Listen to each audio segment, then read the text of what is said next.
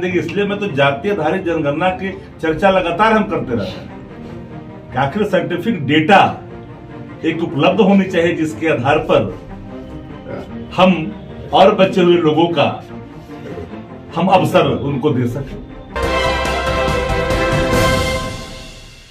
आर्थिक रूप से कमज़ोर स्वर्णों को 10 परसेंट आरक्षण बहाल रहेगा। सुप्रीम कोर्ट के इस फैसले पर आरजेडी प्रवक्ता शक्ति सिंह यादव ने कहा संवैधानिक पीठ ने फैसला दी है। तो स्वाभाविक तौर पर जब न्यायिक निर्णय होते हैं तो उस पर तो कोई सवाल होते ही नहीं है।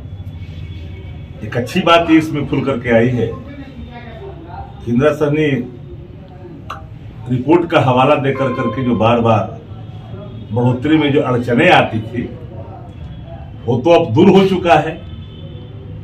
और हम तो लगातार ही बात को कहते रहे हैं कि जो लोग छूट गए हैं और वो अवसर उनको आरक्षण का नहीं मिल पा रहा है। तब तो बैरियर टूट गया ना।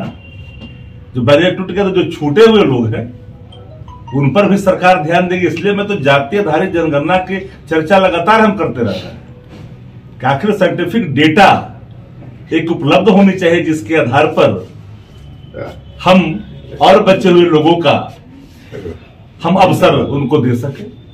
ये तो हम शुरू से इस बात के पक्षकार रहे हैं और जिन बिंदुओं की चर्चा जो लोग कर रहे हैं, हमने तो उचित प्लेटफॉर्म पर उसकी चर्चा की जिस पर स्वयं सुप्रीम कोर्ट ने सहमति व्यक्त की है। तो इंदिरा सहनी की जो बैरियर बार बार आती थी न्यायिक निर्णय के सामने वो चीज़ें टूट चुकी है तो अब तो और लोग हैं, जिनको भी अवसर मिलेगा, हम सामाजिक न्याय की बात करते हैं और आर्थिक न्याय की बात करते हैं।